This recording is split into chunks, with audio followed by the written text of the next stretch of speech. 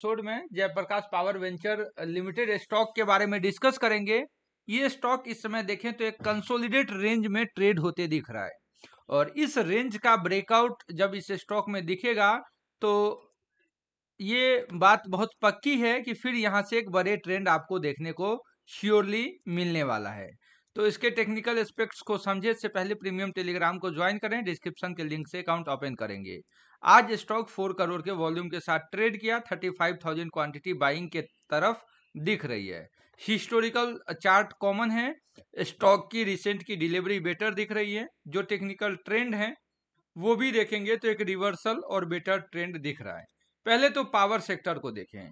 Power sector में आप क्या पाएँगे कि ये जो एक रेंज है, ये जो पूरा रेंज है ये कंसोलिडेट रेंज है, एक बड़ा ब्रेकडाउन हुआ।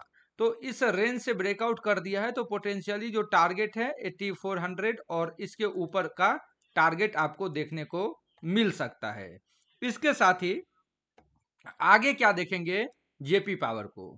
सेम एज एक्सपेक्टेड एक यहाँ देखेंगे तो एक बड़ा रेंज और इसके बीच में कंसोलिडेट ये सेक्टर का ट्रेंड है, यहाँ देखें, एक बड़ा रेंज ये ऊपर का लगभग 24 का रेंज किसका? 24 का और नीचे लगभग 14 का। ये एक बड़ा रेंज और इसके बीच में कंसोलिडेट हो सकता है कि यहाँ से भी ब्रेकआउट हो, लेकिन रियल ट्रेंड 24 के ऊपर दिखेगा। तो जो शॉर्ट टर्म मोमेंटम ट्रेंड लेना चाहते हैं, वो इस लेवल के ब्रेकआउट के ऊपर जाएँगे।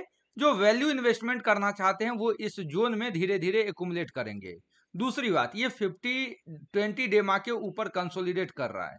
तो हो सकता है कि यहाँ से इस प्रकार से रिट्रेसमेंट और ये ट्रेंड कंटिन्यू करे। अब मंथली टाइम फ्रेम में देखेंगे। मंथली टाइम फ्रेम पे इस स्टॉक में देखें तो क्या दिखेगा? 24 के आसपास एक रेजिस्टेंस है। जो अर्लियर ये क्या हुआ करता था? सपोर्ट इस समय क्या बन रहा है ये? रेजिस्टेंस अब एक बार ये रेजिस्टेंस ब्रेकआउट किया तो ये पूरा राउंडिंग पैटर्न है। फिर ये 90 और 100 के भी लेवल्स दिखेंगे। इससे पहले हो सकता है कि एक बार 49 एक बार नियर अराउंड 70 और उसके बाद 90 टू 100 तक के लेवल्स भी दिखे। और बात की जाए कि वीकनेस कहाँ से होगा इस स्टॉक में तो इस समय वीकली टाइम फ्रेम पे देखें और ये एक ट्रेंड लाइन देखेंगे। Trend line